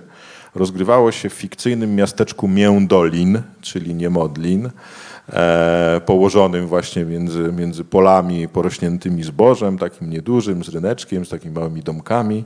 I występowała tam galeria takich też ro, rozmaitych, dziwnych, lokalnych typów. To jest ciekawe, ale jak prowadziliśmy z Rafałem Ziemkiewiczem e, program Przybliżenie w dwójce i tam gościem był Cookies, y, to w pewnym momencie, jak on zaczął opowiadać o tym niemodlinie, o swoich przebojach tam z nauczycielami, z lokalnym kacykiem partyjnym, prawda, i tak dalej, to e, uświadomiłem sobie, że gdzieś on mówi o sprawach, które, którymi echami były też te, te, te, których echem były te fragmenty w opowiadaniu. To była bardzo dobra proza, bardzo to było fajne. E, mnie się wtedy z, z Kukizem nie udało skontaktować, zresztą też specjalnie nie, się, się nie starałem, miałem swoje sprawy. Gdzieś to opowiadanie wrzuciłem do jednej z teczek e, i o nim zapomniałem. Wiele lat później, jak pracowałem w RMF-ie, e, spotkałem Pawła przy okazji premiery filmu Poniedziałek I robiłem z nim rozmowę w studiu właśnie RMF-u. Nie mógł wystąpić na żywo, nagrywaliśmy audycję do wyemitowania później. No i jak żeśmy sobie trochę pogadali o filmie, o innych sprawach, to mu właśnie powiedziałem o tym opowiadaniu. Jemu oczy zabłysły i mówi tak, mówi słuchaj, ja tego pół życia szukałem. Ja w ogóle nie mam żadnego swojego egzemplarza. Nawet sam już nie pamiętam, co tam było napisane w tym, w tym, w tym tekście. Ja mówię, dobra, to ja znajdę i ci, i ci wyślę. No i oczywiście nie znalazłem. Oczywiście nie znalazłem, bo gdzieś zaginęło w trakcie jakiejś jednej z licznych bardzo wielu przeprowadzek. A kto wie, może źle szukałem, może jak się kiedyś zabiorę za gigantyczne porządki w piwnicy rodziców, e, to gdzieś znajdę jakąś zakurzoną teczkę, gdzie pod rozmaitymi innymi manuskryptami, maszynopisami i tak dalej to opowiadanie się, się, się znajdzie. To opowiadanie pokazywało, że Paweł jest niesłychanie utalentowanym człowiekiem. Myślę, że zrobiłby karierę jako pisarz, nie, nie, nie jako tekściarz czy, czy, czy jako wokalista i myślę, że też ma w sobie taki power, że niezależnie od tego, czym by się zajął, to by, to by tą karierę zrobił. No chciałem tę historię przypomnieć, żeby, żeby ona w ogóle ujrzała, ujrzała światło dzienne i od tego zaczynam hasło o, pa, o Pawle Kukizie. Drugą historię, którą chciałem, bo mówiłem o trzech sprawach związanych z Pawłem Kukizem, drugą rzecz, o której chciałem wspomnieć przy okazji tej postaci, to jest jednak to, że e, padł on trochę ofiarą pewnego marzenia. To znaczy, e, powinien się, znaczy inaczej, odkrył chyba już do tej pory, że nawet jak się z najszlachetniejszych pobudek prowadzi rewolucję, to prędzej czy później ten, który stoi na czele rewolucji, jest więźniem swojej armii. A armie mają to do siebie, że niezależnie od ambicji generałów, to nie są zainteresowane pokojem światowym, tylko są zainteresowane plądrowaniem, gwałceniem, ewentualnie szabrowaniem, przygotowywaniem sobie spokojnej starości. E, I to jest coś, co żeśmy obserwowali przez ostatnie lata, jak e, no, część przynajmniej antysystemowców zamieniała się w takie osoby, które gdzieś tam przez system były zasysane i im się jakoś funkcjonowanie w polityce na takich samych zasadach jak te, które kiedyś kryty, krytykowali zaczęło podobać. A trzecia sprawa, na którą chciałem wskazać, że niezależnie od tego, kto jak ocenia rozmaite punkty programu, pomysły, zachowania Pawła, już kiedyś mówiłem przy okazji innych książek, e, ja tak mam ze wszystkimi ludźmi po, po, po prawej stronie, politykami, publicystami, że nie mam nikogo, z kim się w 100% zgadzam albo w 100% nie zgadzam. Podobają mi się i pewne pomysły Korwina, a inne mi się nie podobają. I pewne pomysły Kukiza, a inne mi się nie podobają. I Jarosława Kaczyńskiego też. Jedne mi się podobają, a inne niekoniecznie muszą mi się podobać. Natomiast sam fakt, że Paweł e, rozszczelnił system i wszedł w niego z jakimś, jak, jakąś, jakąś, nową, e, jakąś nową propozycją, to jest bardzo dobry test na to, na ile y, trzecia RP w tym zmieniającym się kształcie, bo mówiliśmy o tym, że ona cały czas, cały czas się zmienia na różne sposoby, jest w stanie taką energię, takich ludzi, takie propozycje, no i właśnie, obracać na swój pożytek albo wypluwać. E, myślę, że to się wiąże też teraz w to, co mówię, z punktem numer dwa, że jednak w pewnym momencie okazuje się, że w dużym stopniu może też wypluwać. E, ale e, tak być powinno, żeby takie, żeby takie zjawiska, takie propozycje się, się po prostu pojawiały, bo za każdym razem coś z tego, coś z tego dobrego wychodzi. Przez jakiś czas przynajmniej. Proszę Państwa, Piotr Gociek, człowiek, który od liceum dużo czyta, dużo pisze i jeszcze czasem myśli.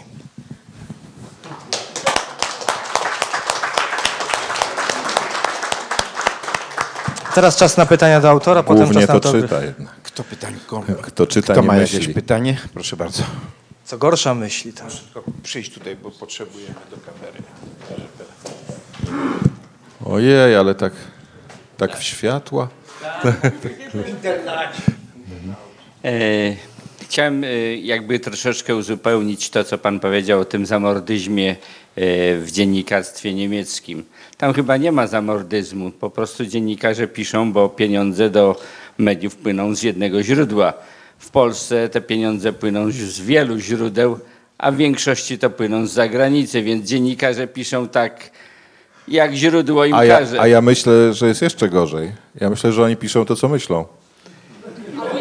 Znaczy, Oj, wydaje mi się, znaczy, że nie, jeżeli pan pan, pan, popatrzy- pan myśli, że w polityce albo w Newsweeku, albo w, w tym, w, w Gazecie Wyborczej to są setki ludzi, którzy tak naprawdę myślą zupełnie inaczej, ale piszą to, co piszą, gdyż im każą Są i dają za setki to Ketmanów? pieniądze. Nie sądzę. Myślę, że Ja to myślę, są ludzie, którzy to, po prostu tak myślą.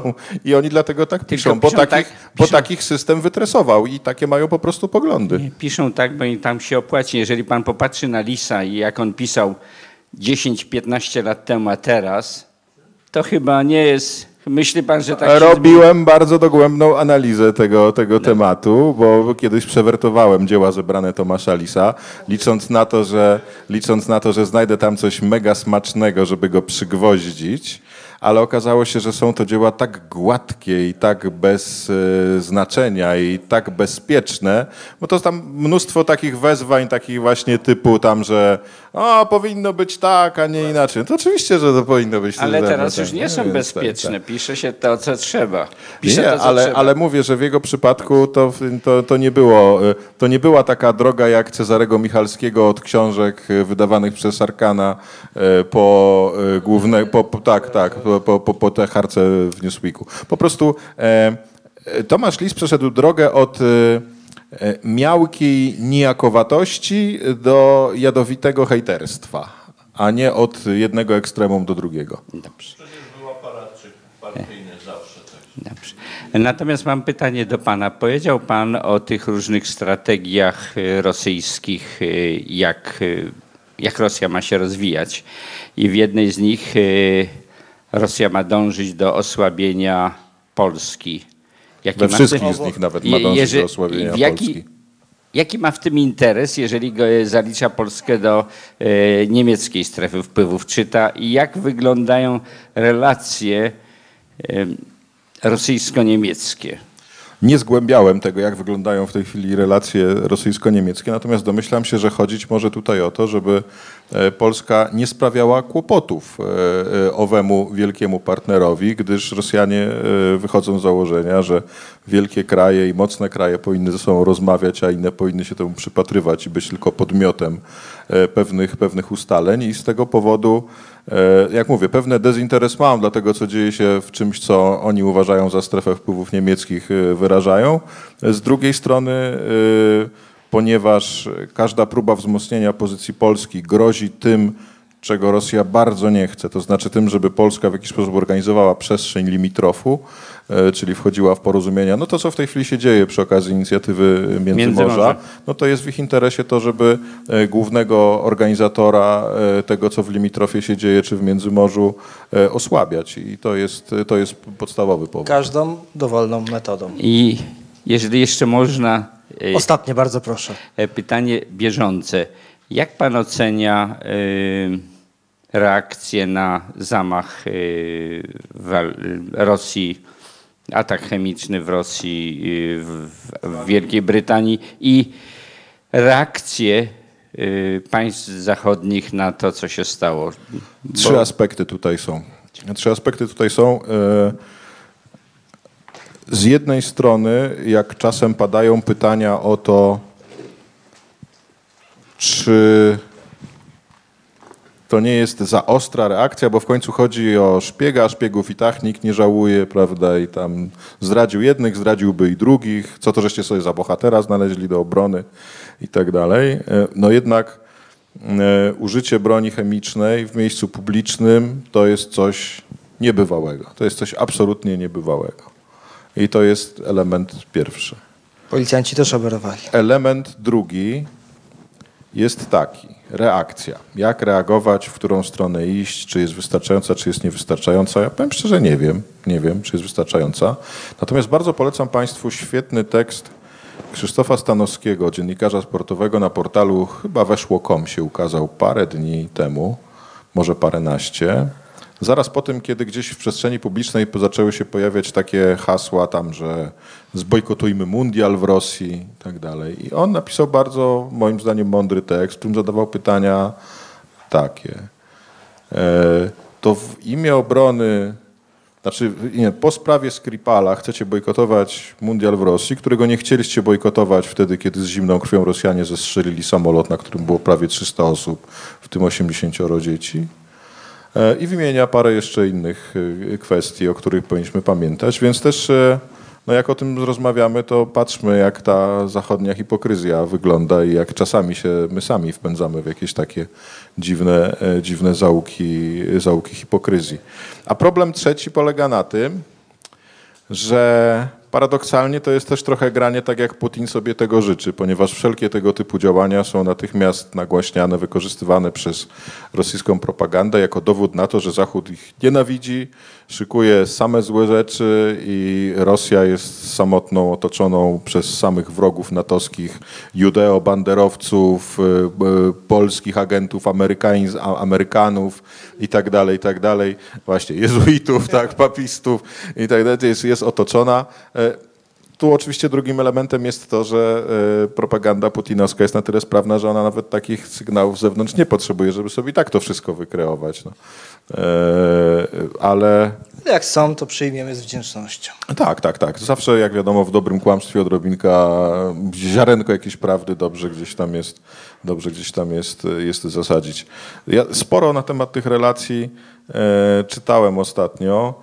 Bardzo nierówny zbiór rozmów został opublikowany dwa czy trzy lata temu. Taki zbiór, chyba to Fundacja Sąsiedzi wydała.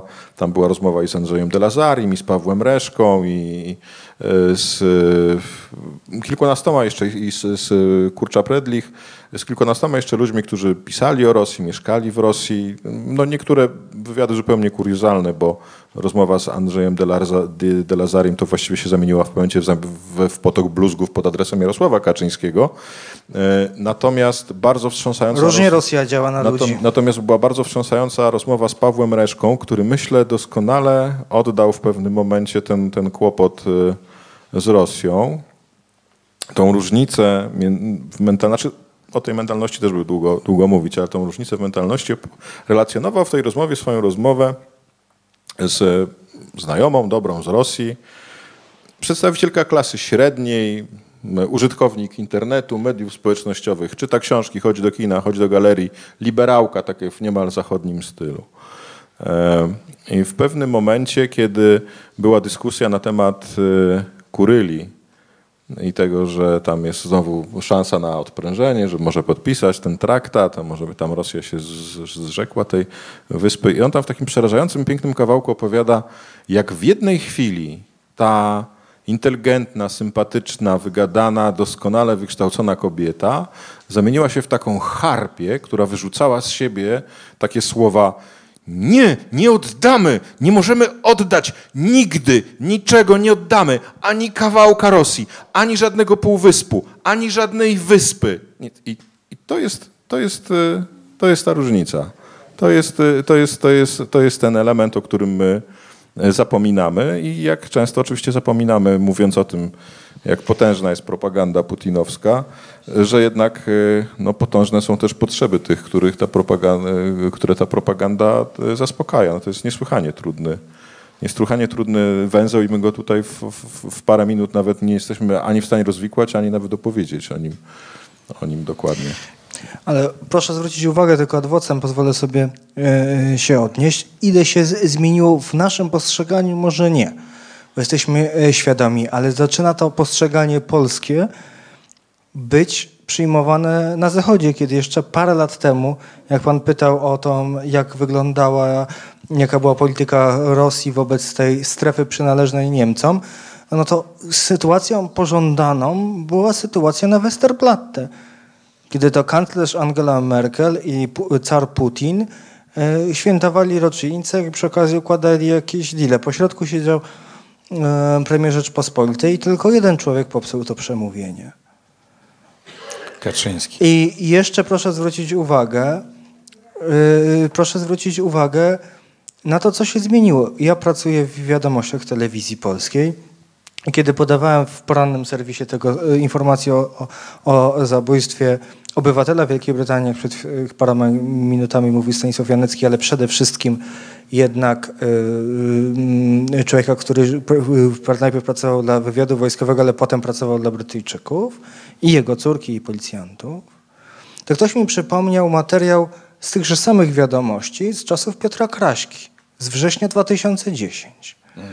I materiał tłumaczył o tym, że otóż e, Jarosław Kaczyński wystosował list do ambasadorów państw członków NATO, wskazujący na to, że y, Rosja prowadzi agresywną imperialną politykę i może posunąć się do każdego y, przestępstwa.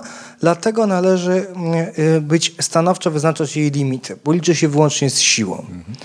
I cały ten materiał od tego, co do kamery mówił Piotr Kraśko, poprzez kolejne wypowiedzi sprowadzał się do tego, jak wielkim przestępstwem dla bezpieczeństwa Rzeczpospolitej jest mówienie o zagrożeniu ze strony Rosji. Przecież to nasi przyjaciele i bracia Słowianie.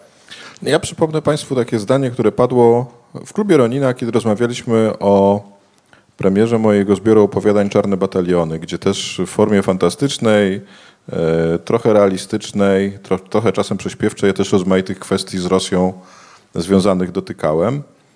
E, I e, to był moment, ta książka się ukazała mm, 2015 albo 2014 roku, nie pamiętam. Ja mówiłem o tym wtedy na tym spotkaniu, potem mówiłem to jeszcze kilkakrotnie w telewizji Republika, że jesteśmy świadkami e, chwili, w której Rosja zamienia się z eksportera surowców w eksportera niespo- nie, niepokojów. I z przykrością stwierdzam, że, że miałem rację. Bo tak to dokładnie w tej chwili wygląda.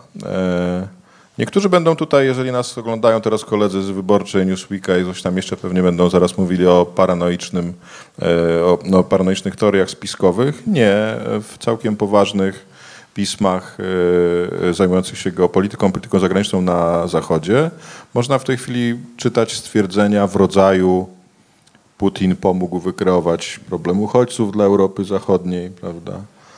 E, tych, e, tych zapalników, tych granatów, tych e, klawiszy fortepianu jest wiele, na których, na których gra Władimir Putin. No bo proszę zauważyć, to mówiłeś o istotnej różnicy w postrzeganiu.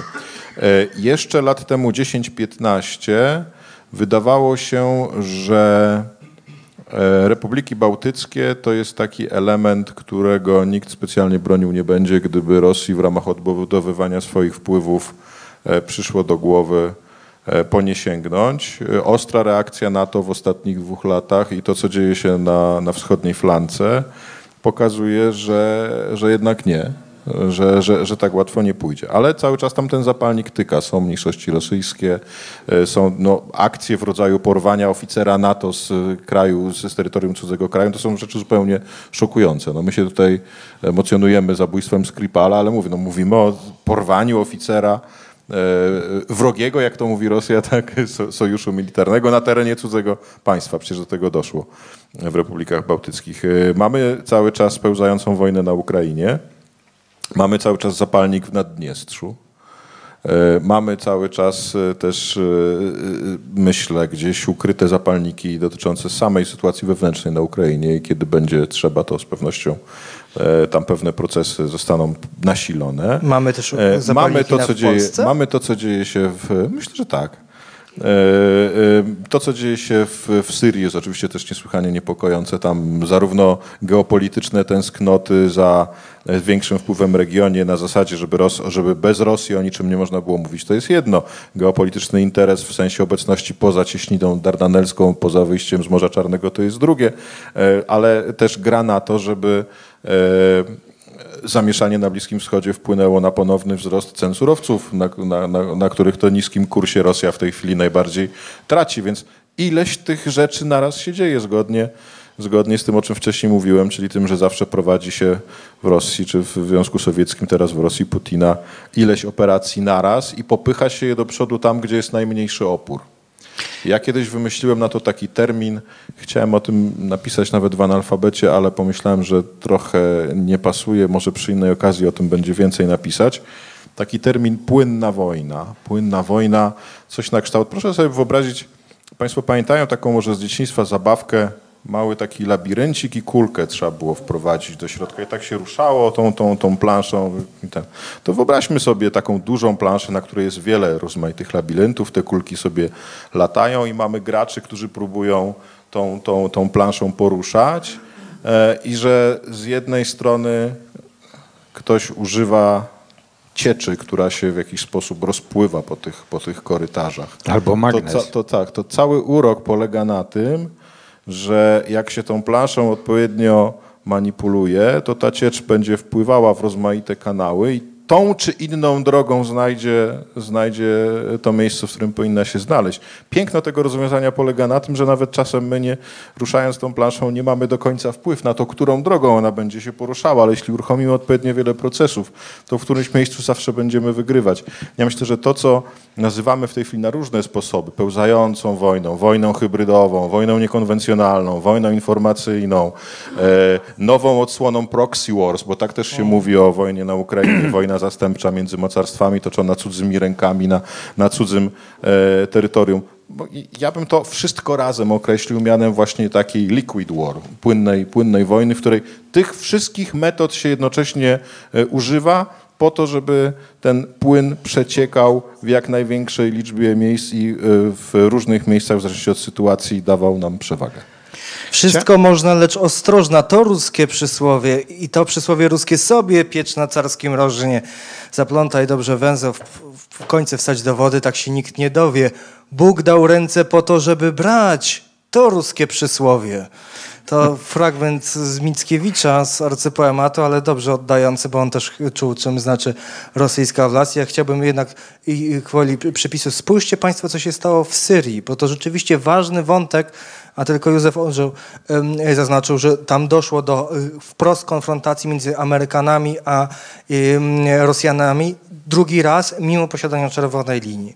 Znaczy, jest, są takie zapiski, o tym profesor Paweł Wieczorkiewicz mówił, y, świętej pamięci, y, o tym, jak Stalin po wyniku II wojny światowej patrzy na, ten, na tą mapę e, ZSRR, strefę wpływów i mówi, no odbudowaliśmy imperium carów, nawet jesteśmy dalej. Szkoda tylko, że ta Turcja i ta Syria nie jest w naszych rękach. Znaczy, kompletnie nic nie miał Władimir Władimirowicz Putin, jeśli chodzi o tą serię. Tam już wszystko yy, szło. Nagle on wszedł z blotkami i wygrał wszystko. Powiedzmy sobie szczerze, Syria w tej chwili jest drugą Hiszpanią. Tam się była i broń chemiczna, i stąd jest taka reakcja Zachodu, której wcześniej nie było, bo tam można było na Bliskim Wschodzie i tam się stosowało broń chemiczną, ale nie w y, metropolii, jakim była Wielka Brytania. Tam się w tej chwili wszystko testuje. I media społecznościowe były do z- robienia tej y, kolejnej rewolucji, i y, wishful thinking Zachodu było widać, i brutalną siłę. Nie mówię o tym jednym lotniskowcu, który się popsuł dwa razy ja- jadąc do tego, ale to y, ci Wagnerowcy płynąc, y, mm, ci Wagnerowcy, czyli którzy nawet nie wracają do Rosji, którzy tam się biją jako gruz 200, czyli jako tropy, tylko biją się i podpisują kontrakt, w którym jeśli zginą, rodziny dostają 15 tysięcy dolarów więcej, tylko muszą mordę w Kubę. Tylko to system nie jest idealny i ma też swoją masę krytyczną. Jak były kiedyś matki Bieslanu, to miejmy nadzieję, że te matki kiedyś się podniosą. A też właśnie zauważmy tutaj, kończąc, no nie kończąc temat, bo można by długo mówić, ale to, to a propos tej, tej kwestii, e, jednak różnicę istotną, że kiedyś mimo wszystko, jak mówimy tutaj o odbudowaniu wpływów imperialnych i dumy imperialnej, to kiedyś imperium było dumne z tego, gdzie wysyła swoich żołnierzy, chwaliło się tym swoim naj, najmniejszym nawet sukcesem, albo, albo i porażką przekuwaną w sukces, chwaliło się jako kolejnym e, krokiem e, w, w słusznym marszu we właściwym kierunku. Natomiast w tej chwili, e, tam gdzie Rosjanie ponoszą straty, a ponoszą je i w Rosji, i ponoszą je przede wszystkim na Ukrainie, dużo większe niż są w stanie przyznać, e, to, e, to jest wszystko skrzętnie, naprawdę bardzo skrzętnie, głęboko ukrywane. Te doniesienia e, o mobilnych krematoriach, które służyły na wschodzie do palenia ciał rosyjskich żołnierzy, którzy tam, zginęli, no wszystko wskazuje na to, że, że to akurat nie były. E, Że to akurat nie były e, fake newsy. Więc tutaj też, tutaj też coś się zmienia. No też pytanie, na ile, na ile współczesne społeczeństwo rosyjskie podatne na, na propagandę wszelkiego rodzaju i cierpiące na swoje własne kompleksy e, byłoby w stanie przyjąć sytuację, kiedy e, te ciała będą, no może nawet i w pięknych konduktach e, z wieńcami, ale masowo przypływały, a nie potajemnie gdzieś tam bez nieśmiertelników, żeby nie dało się tego zidentyfikować, prawda? Usuwane. A chciałem, nie będę zadawał pytania, dlatego że wydaje mi się, że jest godzina bardzo późna, a jeszcze chcielibyśmy podziękować i wspólnie razem jajeczkiem się podzielić. A jest tutaj Józef. Nie, nie, jest, jest już godzina dość późna, wszyscy chcieli. e, Tak, także chcieliśmy bardzo serdecznie podziękować Państwu za, za przybycie i Piotr wspaniałą Gociek, prelekcję. który dzięki klubowi Ronina znalazł się na jednej liście proskrypcyjnej z Radosławem Sikorskim. Bardzo serdecznie Ci dziękuję za tę A, książkę no i za właśnie, rozmowę. Państwo pamiętają, że Radosław Sikorski był zaproszony na pierwsze spotkanie klubu Ronina jako potencjalny członek? O, tutaj macha głową Józef Orzeł. Bądź co Tak bądź, bądź co bądź człowiek roku Gazety Polskiej w 93 roku. Tak jest. Wypominaj, wypominaj.